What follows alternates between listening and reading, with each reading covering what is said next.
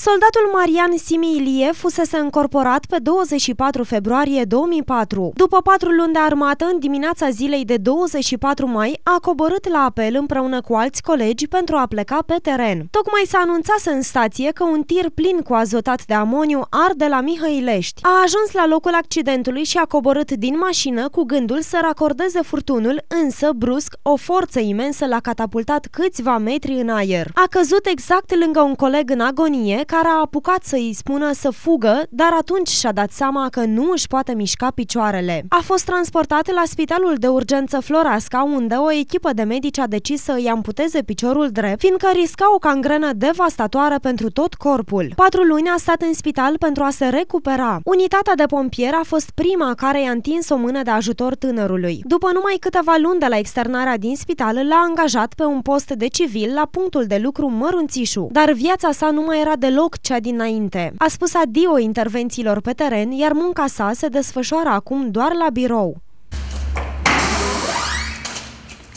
M-aș urca în mașină, nu, e imposibil, nu, nu se poate.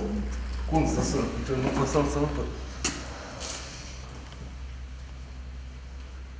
Nu mai particip la intervenție, doar la birou. Greu, că vă dați seama, cu mersul, mai ales cu mersul, e foarte greu cu deplasare. Îmi lipsesc, da. Dintre ce a față de ce a fost acolo, am avut și noroc. Alții nu mai sunt nici așa. După accident, piciorul său a fost înlocuit cu o proteză care a trebuit schimbată periodic. De câteva ori, costurile au fost suportate de Inspectoratul pentru Situații de Urgență și de o fundație. Acum Marian poartă o proteză pe care o are de șase ani și cu care se chinuie să se deplaseze pentru că ea nu mai este potrivită fost înlocuit cu o proteză după ce s-au vindecat rănile.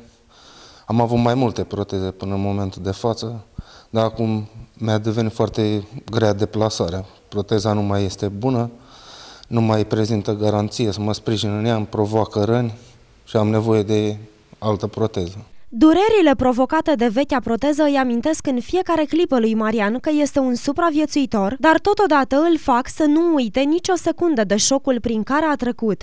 și atunci, în urma accidentului, mi-am pierdut un picior, adică nu mi-am dat seama că nu-l mai am. De-abia când am ieșit din comă, accidentul s-a întâmplat lunea și o marțea, joia, am văzut că nu mai am picior. Deplasarea lui Marian Simi Ilie a devenit foarte greoaie din cauza protezei, iar o proteză nouă este mai mult decât necesară. Numai că prețul nu este deloc de neglijat, costurile ridicându-se la 46.000 de euro.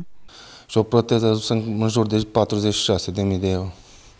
Costuri care sunt prea mari pentru puterea mea financiară și a familiei. Colegii lui Mariana au încercat să întindă din nou o mână de ajutor, lansând o campanie pentru strângerea banilor necesari înlocuirii protezei ortopedice. Au strâns deocamdată doar 5.000 de lei, sumă insuficientă. Dacă până în anul 2009, cea mai mare parte a costurilor pentru achiziționarea unei proteze au uh, fost acoperite de unitate, din acel moment s-au căutat soluții pentru diferite sponsorizări prin intermediul unor fundații sau unor oameni cu suflet mare.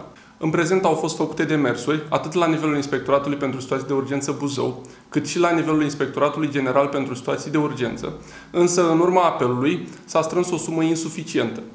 Dureros este faptul că, prin natura meseriei, zi de zi ajutăm oamenii, însă unul de-al nostru nu îl putem ajuta îndeajuns. Pompierul erou Marian Similie poate fi ajutat prin donații în contul CIF 182 1255 în lei RO 63 BRDE 450 SV 5733 84 500 deschis la BRD GSC SMCC cod SWIFT BRD E RO BU în euro RO 31 BRDE 450 SV 2 2376 15 34 500 sau apelând numerele de telefonie fixă în rețeaua Telecom 0900 900 632 pentru a dona 3 euro 0900 900 634 4 euro 0900 900 630 pentru a dona 10 euro.